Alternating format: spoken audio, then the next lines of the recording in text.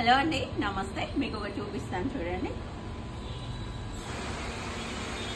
Only వెబ్సైట్లో sales అండి last month sales.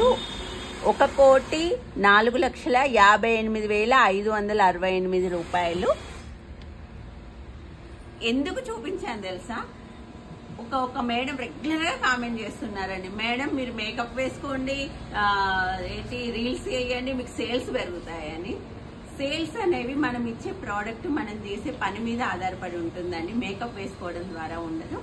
తను రెగ్యులర్గా మెసేజ్ చేస్తుంది. సో దానికోసమే చెప్తున్నాను. రేపటి జనరేషన్ కూడా మనం ఏం నేర్పిస్తున్నామో ఒక్కసారి ఆలోచించండి. మన కష్టాన్ని మనం నమ్ముకోవాలి. మేకప్ ద్వారానో దేని ద్వారానో సేల్స్ అనేవి కావండి. మన ప్రోడక్ట్ మీద మన నమ్మకం మన కస్టమర్స్ సాటిస్ఫై చేసే విధంగా ప్రోడక్ట్ అనేది ఉంటే మనకు ఆటోమేటిక్గా సేల్స్ అనేవి ఉంటాయి. నేను చూపించినవి ఓన్లీ వెబ్సైట్ ఆర్డర్స్ మాత్రమే అండి. వాట్సాప్ ఆర్డర్స్ మీరే ఊహించుకోండి.